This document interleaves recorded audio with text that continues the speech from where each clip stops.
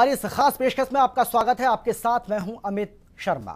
तो कर्नाटक का बॉस कौन होगा यह सवाल आज हर किसी के जहन में है।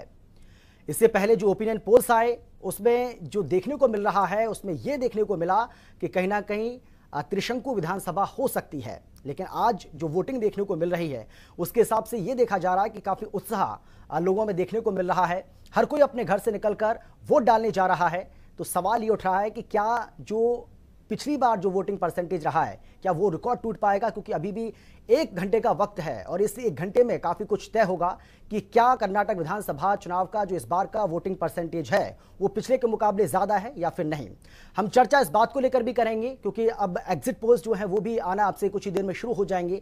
चर्चा इस बात को लेकर भी होगी कि जो ओपिनियन पोल्स आए हैं, उसको किस तरीके से देखा जाए। और अब की बार जो बड़ा सवाल है, कर्नाटक का बॉस कौन होगा, इसको लेकर भी चर्चा होगी, लेकिन उससे पहले रिपोर्ट देखिए।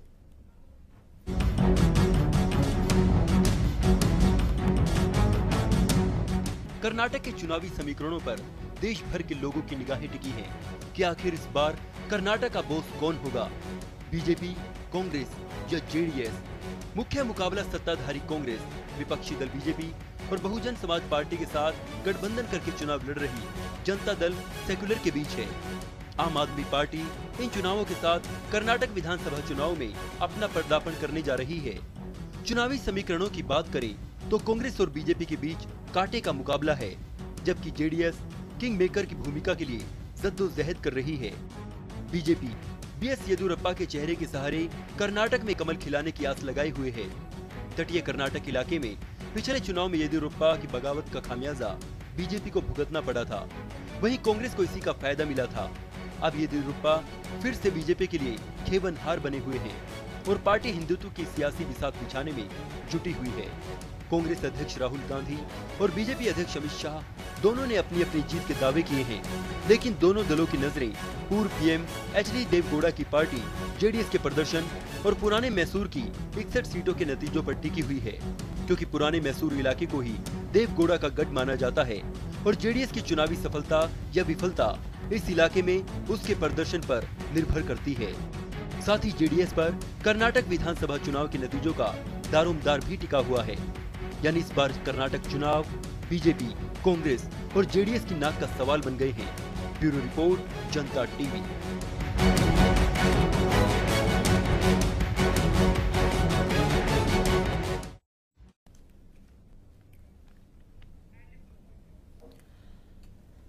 तो ये रिपोर्ट आपने देखी, हमने आपको दिखाया कि किस तरीके से जो विधानसभा का चुनाव है कर्नाटक का इस बार, किस तरीके से दिलचस्प ये रहा है। और क्योंकि आज वोटिंग हो गई और 15 मई का इंतज़ार रहेगा 15 मई को वोटों की गिनती होगी और उसके बाद ये बिल्कुल साफ़ हो जाएगा कि जीत की बाजी किसके हाथ लगी है। क्या कांग्रेस एक बार फिर से बाजी मार गई या बीजेपी को मायूस, मायूसी हाथ लगेगी? क्या जेडीएस, जिसे कहा जा रहा है कि कहीं ना कहीं किंग मेकर की भूमिका वो इन चुनावों में निभाने वाली है। तो कांग्रेस, बीजेपी और जेडीएस, हालाँकि कहा यह जा रहा है कि कांग्रेस और बीजेपी के बीच कांटे का मुकाबला है और जेडीएस इसमें अहम भूमिका निभा सकती है। बिना समय गवाए चर्चा की हम शुरुआत करेंगे। हमारे साथ तीन खास मेहमान, या यूँ कहें कि तीन वरिष्ठ पत्रकार हमारे साथ स्टूडियो में मौजूद हैं।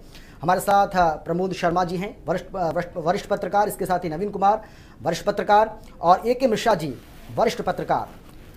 शुरुआत में आपसे करूँगा प्रमोद शर्मा जी, और सवाल मेरा आपसे सीधा सा ये है, किस तरीके से देखा जाए? क्योंकि जो जानकारी अब तक मिल रही है, उसके मुताबिक 60 फ़ीसदी मतदान अभी हुआ है।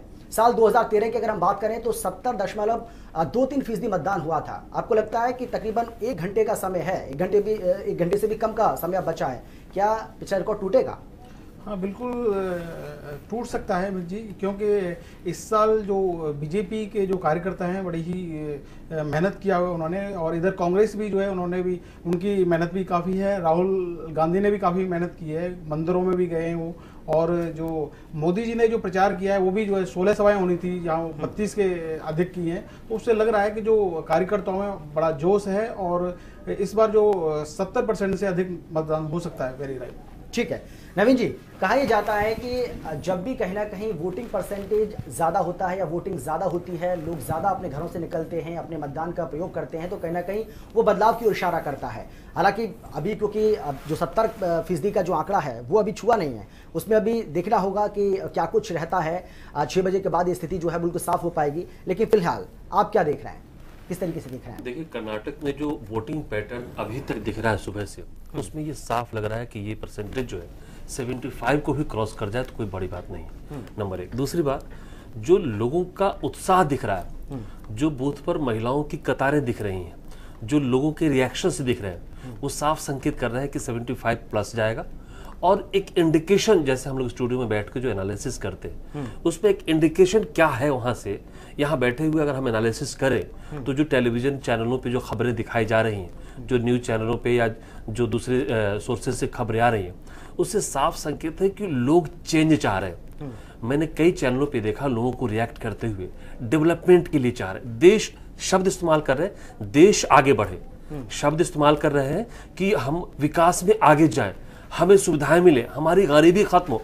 अगर ऐसी बात कोई करे इसका मतलब कि एग्जिस्टिंग जो सरकार है उसको लेके थोड़ा ना थोड़ा बदलाव के संकेत है। अदरवाइज़ कोई इस तरह के बयान नहीं देता। हालाँकि दो चार पाँच सात इंटरव्यू की बात मैं कर रहा हूँ लेकिन जैसे चावल हांडी में हम देखते हैं दो चार से ही पता चल जाता है कि वह चावल पका या कचा है उसी तरह से उनके रिएक्शंस देके मुझे लग रहा है और जो उत्साह बूथों पर महिलाओं की कतारें दिख रही है उनमें साफ़ लग रहा है कि लोग शायद चेंज चाहते हैं। हालाँकि पता तो पंद्रह को चलेगा लेकिन संकेत यही बता रहे हैं। चलिए एक मिश्रा जी आपने दोनों को सुना है प्रमोद जी को आपने सुना नवीन जी को आपने सुना और दोनों का ही यही कहना है कि कहीं ना कहीं पिछला जो रिकॉर्ड रहा है वोटिंग परसेंटेज का उस रिकॉर्ड को इस बार टूटा हुआ हम पाएँगे। क्या आप ऐसी उम्मीद कर रहे हैं? देखिए सत्तर परसेंट जो पिछली बार हुआ था सेवेंटी पॉइंट टू तो मुझे लगता है कि लगभग इसी के हेर फेर जाएगा। दो चार परसेंट आगे पीछे हो सकता है क्योंकि एक घंटे है। आपकी जो स्पीड होती है वोटिंग की और लोगों को फारिग करना जो पोलिंग बूथ के जो काम होते हैं तो सत्तर बहत्तर तिहत्तर परसेंट या एक दो परसेंट उसके आगे पीछे जाएगा। अस्सी पचासी परसेंट का तो मुझे नहीं दिखता है। अगर अस्सी पचासी परसेंट का एवरेज आना होता तो वो शुरू से ही बहुत ज़बरदस्त तरीके से वोटिंग होती है। काफ़ी क्राउड रहती है काफ़ी भीड़ रहती है। क्वेश्चन ये है यहाँ पे देखना ये है कि अगर मान लीजिए सत्तर परसेंट जो हुआ वोटिंग इतनी वोटिंग तो पिछली बार भी हुई थी तो रिज़ल्ट क्या होगा? अगर पचहत्तर परसेंट के आसपास जाता है या सत्तर परसेंट से बिलो जाता है पैंसठ परसेंट साठ परसेंट पचपन परसेंट जाता है अभी जैसे बात हो रही थी कि भाई वोटिंग अगर ज़्यादा हो रही है तो पब्लिक बदलाव चाहती है ये बात सही है।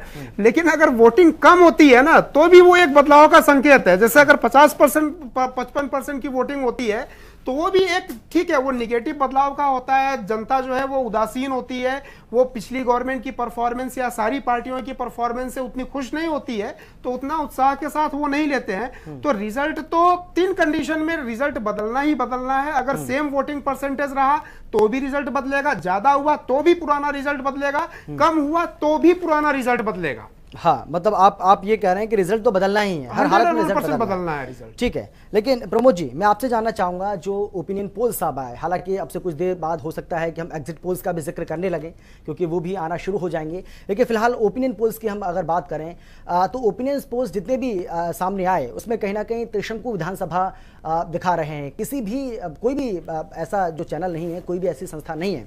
जिसने कहीं ना कहीं ये कहा हो कि पूर्ण बहुमत से बीजेपी वहाँ पर सरकार बनाने की स्थिति में है, या कांग्रेस सरकार बनाने की स्थिति में है, या फिर जेडीएस सरकार बनाने की स्थिति में है। आप इसे कैसे देख रहे हैं?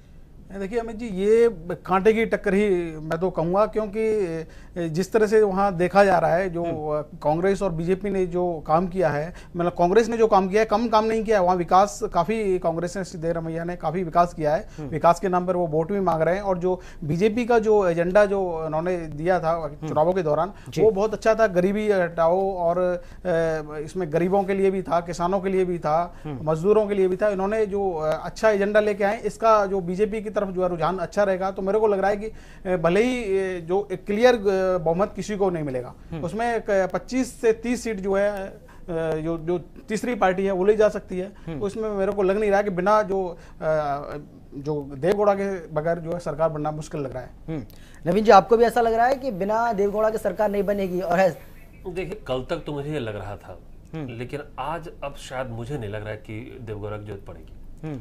और मैं इसलिए कह रहा हूँ कि सुबह से जो रिपोर्ट्स आ रही हैं वहाँ से जो लोग अब जब सेवेंटी फाइव फ़ीसदी सेवेंटी फाइव से कम वोटिंग नहीं होने जा रही वहाँ पे। हम्म। चार बजे तक जब साठ फ़ीसदी वोटिंग हो जाए हम्म। तो लास्ट के दो घंटे बचे। हम्म। और इसमें वोटिंग ज़बरदस्त होती है।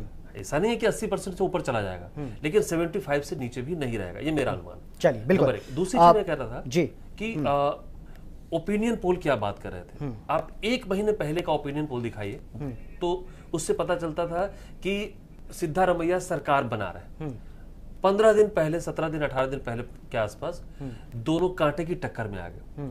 और अब हंग असेंबली में आ गए। और अब जो लास्ट में जो ओपिनियन पोल हुए हैं जो पाँच सात दिन पहले हुए उसमें भी हंग ही दिखा रहे थे लेकिन हाँ। बीजेपी और कांग्रेस दोनों क्लोज दिखा रहे थे। और कांटे की टक्कर कांटे की टक्कर पे आ गए। दो चार पाँच सात सीटों का फ़र्क था। साथ ही जितने भी ओपिनियन पोल थे उसमें केवल एक ओपिनियन पोल कांग्रेस की सरकार बना रही थी और एक ओपिनियन पोल बीजेपी की भी सरकार बना रही थी। और जितने हंग असेंबली दे रहे थे उन सब में बीजेपी और कांग्रेस का फ़र्क पाँच से दस मैक्सिमम था उससे ज़्यादा नहीं था। ज़्यादा सीटों का नहीं था। नहीं था। ये तब ये तब था जब बीजेपी की लहर बननी शुरू हुई थी। अब पिछले एक हफ़्ते में मोदी की रैली 15 से 21 कर देना और वहाँ से जो रोड शो अमित शाह के आ रहे थे उनके आप विजुअल्स देखिए जो रिएक्शंस मिल रहे थे ना यही वजह है कि अब कांग्रेस की बॉडी लैंग्वेज देखिए आप चैनलों पे। आप डाउन दिखेंगे। पहली बार आपने किसी कांग्रेस के बड़े नेता को साढ़े बारह बजे टीवी पे देखा है आज। सिद्धारमैया है। इसके बीच में एक बार एक छोटी सी बाइट चली खड़गे की। खड़गे के बयान में भी कई कई चीज़ें हैं मैं आगे बात करूँगा आपसे उसमें। लेकिन सिद्धारमैया ने साढ़े बारह बजे आके प्रेस कॉन्फ्रेंस की मतलब मीडिया से बात की वोटिंग के बाद। साढ़े पाँच घंटे तक वो सरकार का नेता जो सत्ता में हो और जिसने पूरी ताकत झोंक रखी हो, जो उस स्टेट पे हार और जीत का मतलब उसके लिए 2019 के हार और जीत पे फ़र्क डालने वाला होगा। वो संकेत बहुत स्पष्ट दिख रहे हैं, बाकी तो 15 तारीख को ही पता चलेगा। ठीक है।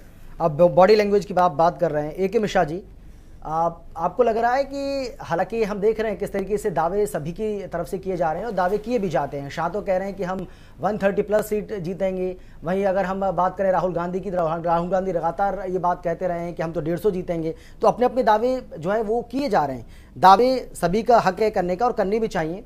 लेकिन जो वादे किए गए थे, क्या कांग्रेस पार्टी ने वो वादे पाँच साल के भीतर वो पूरे किए? आपको लगता है, एक वरिष्ठ पत्रकार की हैसियत से मैं आपसे जानना चाह रहा हूँ।